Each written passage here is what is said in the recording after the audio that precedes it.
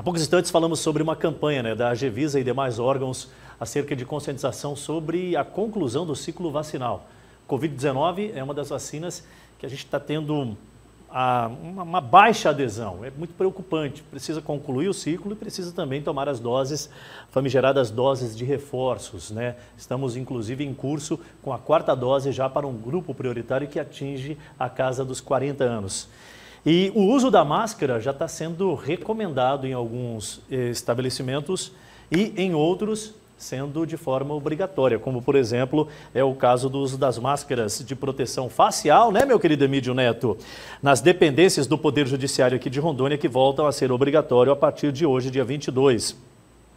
O ato conjunto da presidência do Tribunal de Justiça e da Corregedoria Geral da Justiça foi publicado ontem, terça-feira, dia 21, no Diário da Justiça, e leva em conta o agravamento no cenário da pandemia de Covid nas últimas quatro semanas.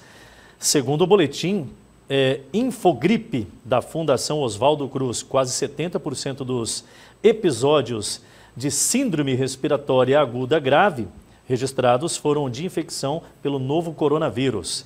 Devem reportar-se à Divisão de Saúde do Tribunal de Justiça de Rondônia por meio do Sistema Eletrônico de Informação, o SEI, antes de se apresentar ao trabalho servidores, magistrados, estagiários, terceirizados ou quaisquer outros colaboradores vinculados ao Poder Judiciário é, que nos últimos sete dias possuam histórico de contato domiciliar de caso positivo do novo coronavírus, apresentar então o quadro compatível classificado como suspeito para a Covid-19 ou positivação para a doença.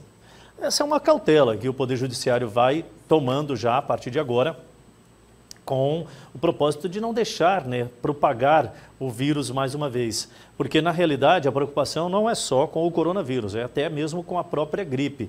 Com a baixa procura, com a adesão das campanhas que estão em andamento e a da gripe também, o H1N2, que foi a mutação do vírus da influenza, é importante ficarmos atentos. E você tem que ter um pouco de empatia, se colocar no lugar das outras pessoas e entender que o uso da máscara protege não só você, mas como principalmente as pessoas próximas a você.